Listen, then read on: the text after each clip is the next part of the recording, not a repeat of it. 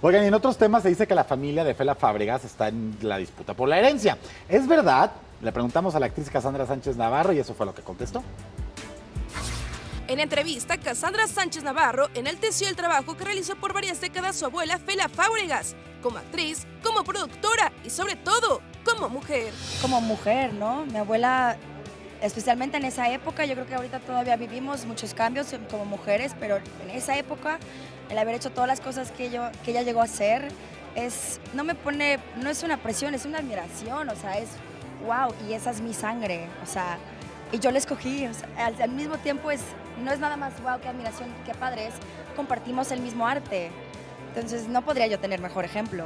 Fue su guía en el terreno laboral, pero sobre todo fue su inspiración para llegar al nivel que doña Fela Fábregas logró en el teatro mexicano.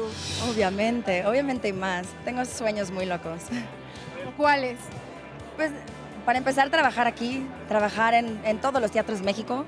Eh, ser parte de la familia que, que, tengo ¿no? en el teatro y trabajar ahí también, claro.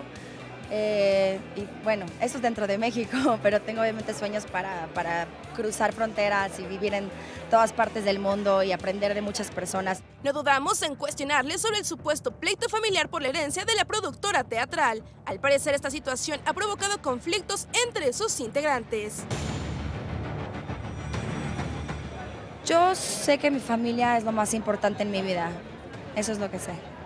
Y que son maravillosos y que, y que la, yo creo que la pérdida de una persona pone a muchas personas en una posición de mucha responsabilidad.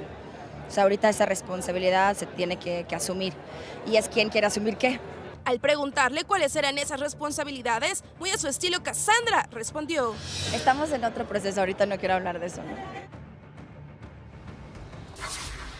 Casana Sánchez Navarro, con una familia importantísima dentro del mundo del teatro, Manolo Sánchez Navarro, Fela, eh, Fela Fábregas, este... Eh, el estreno de, Sugar, eh, octubre 2019, así que va a ser, mira, producción de Alejandro Gou. De Alejandro Gou, Tina Galindo y de Claudio Carrera, ¿no? Así es. Teatro de Los Insurgentes, ahí es donde se hizo de manera original, en el Teatro de Los Insurgentes, y será, entiendo que dirigida y escrita por Enrique Guzmán. Órale, va a ser muy interesante este proyecto para que no se lo pierdan. De primera mano, lunes a viernes 3 pm. Participa en Imagen Televisión.